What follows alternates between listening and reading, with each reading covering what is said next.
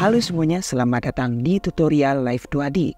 Pada kesempatan tutorial kali ini, aku akan memberikan tutorial cara merigging rambut sekaligus menambahkan fisik pada rambutnya agar rambutnya bisa bergoyang-goyang dan bergelombang-gelombang. Dan tanpa berlama-lama lagi, ayo kita langsung saja pergi ke tutorialnya.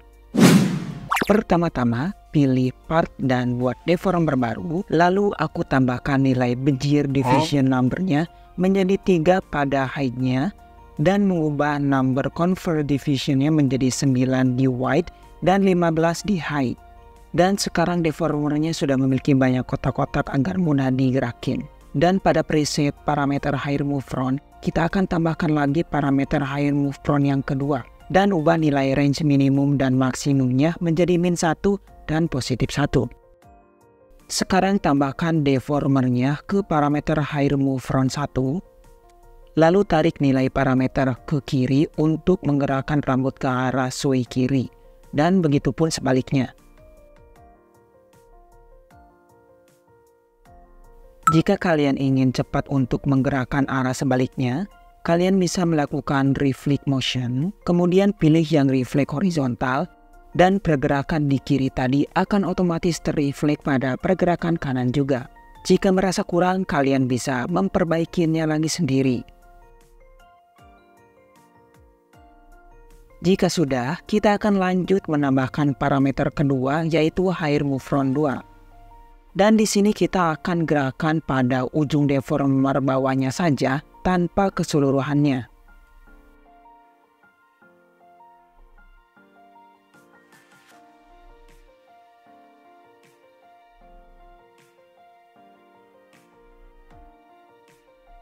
Setelah kedua parameter dimasukkan, sekarang synthesize cornerin kedua parameter tersebut. Oke, kali ini rambutnya sudah bisa bergerak dan tidak perlu memiliki banyak deformer baru. Sekarang saatnya membuat fisik rambutnya dan melihat cuplikan pergerakannya. Pertama, tambahkan fisik baru dan namakan front hair. Lalu tambahkan preset, pilih yang head input dan hair double pendulum. Lanjut pada output setting, kalian tambahkan kedua parameter hair move front tadi. Dan sekarang si rambut bisa terlihat bergerak mengayun setelah ditambahkan fisiknya.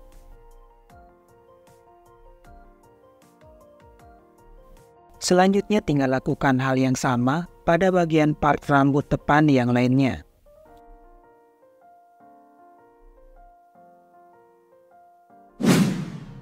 Jika setelah rambut bagian depan selesai, kita akan lanjut pada rambut bagian samping.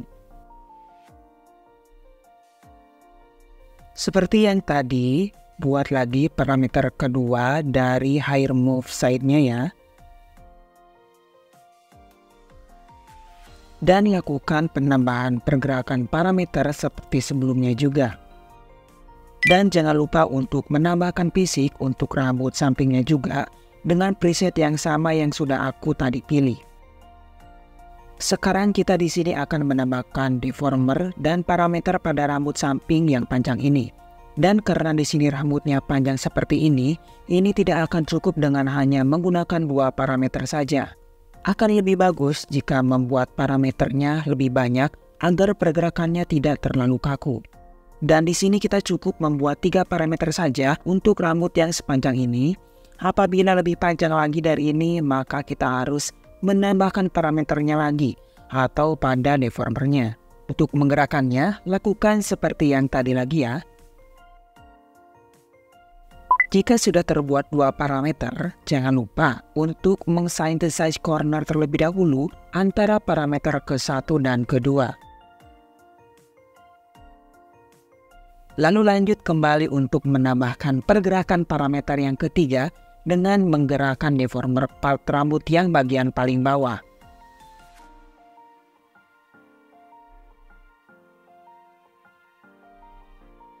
Setelah selesai, lakukan synthesize corner lagi dengan parameter ke-1 dan ke-3.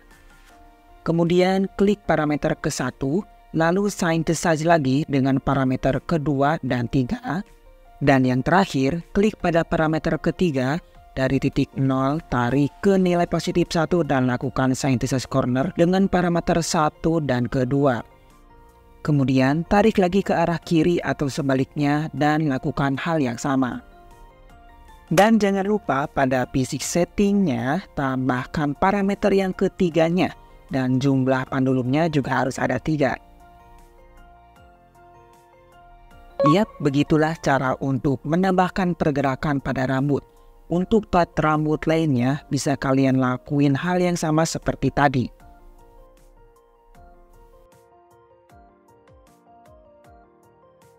Dan jangan lupa, jika part rambutnya pendek, dua parameter juga sudah cukup.